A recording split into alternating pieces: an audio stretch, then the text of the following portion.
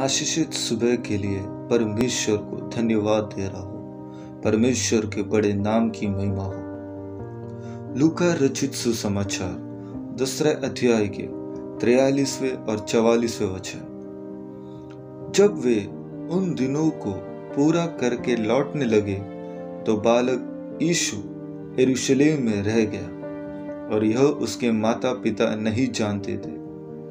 वे यह समझकर कि वह अन्य यात्रियों के साथ होगा।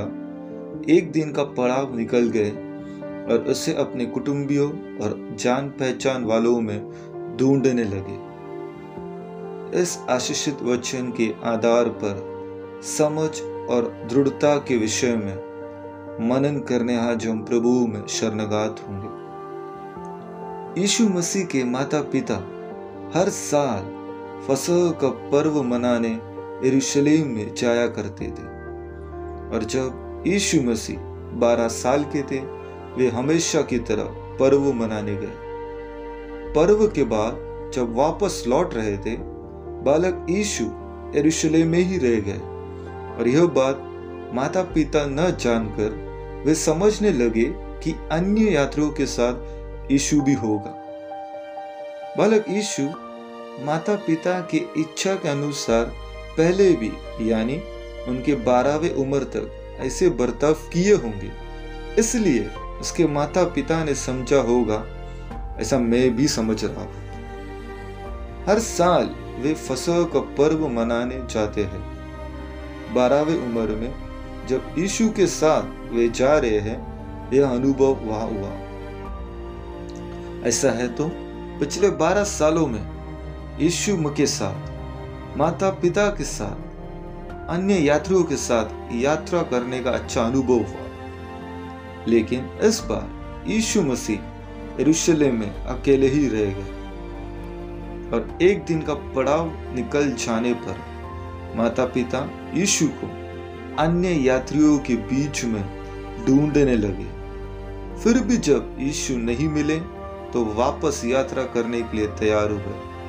और उसी तरह मंदिर में पहुंचकर उन्होंने यीशु को वहाँ पे देखा।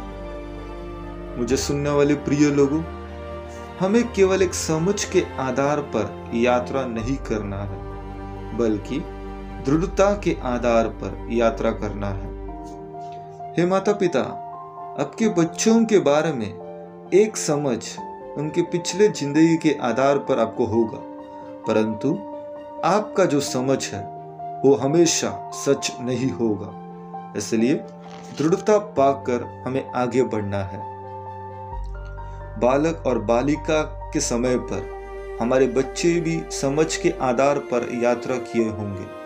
लेकिन एक बालक की अवस्था से जवानी में पहुँचते हैं, हमें उनको ढूँढने की आवश्यकता बहुत ही ज़रूरी है। ऑनलाइन क्लास के नाम लेकर कमरे में घुसकर द्वार बंद करके बैठने पर वास्तव में वो ही कर रहे हैं। यह ढूँढने की आवश्यकता है। ट्यूशन के लिए जब हम उनको भेजते हैं तो सचमुच में ट्यूशन में ही जा रहे हैं। यह ढूँढने की आवश्यकता है। माता पिता उसी तरह जब यीशु को ढूँढने गए, तब उन्होंने इस प्रकार जो देखा, वो उनके लिए पूरी तरह अलग ही था। वो उनके लिए दर्दनाक नहीं था। कारण, तीन दिनों के बाद एक दिन पूरा होने के बाद उनको समझ में आया, यीशु उनके साथ नहीं है और दो दिन ले रहे हैं, कारण अन्य यात्री जिस स्थान में गए, वह सब उन्होंने ढूंढा होगा। पर तीसरे दिन परमेश्वर के मंदिर में प्रभु यीशु को उपदेशकों के बीच में बैठे हुए उनकी सुनते और उनसे प्रश्न करते हुए पाए। और वचन वहाँ लिखा है यीशु मसीह की बातें सुनकर उनके समझ और उत्तरों से वे चकित हो गए। इस प्रकार का एक यीशु को देखकर उसके माता पिता भी चकित हो गए। तीन दिन बड़े दुख के साथ उस माता पिता ने उनके बेटों को ढूंढ रहे हैं, परंतु उनके ढूँढने के अंत में उनका दुख पूरी तरह दूर हो गया। यीशु को एक अलगदाई के अनुभव में वे देख रहे हैं प्रिय लोगों परमेश्वर हम एक ढूंढना चाहते हैं। और ढूँढने का अंजाम दुख नहीं, परंतु आनंद का भरपूरी होना चाहिए। मेरे बच्चे अच्छे हैं और हमेशा अच्छे ही रहेंगे।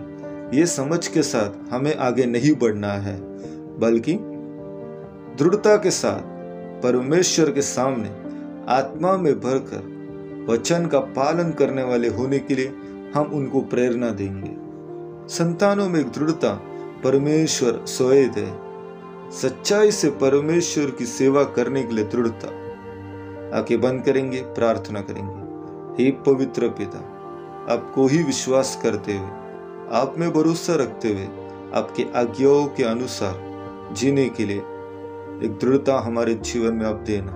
यीशु मसीह के नाम से ही, आमीन।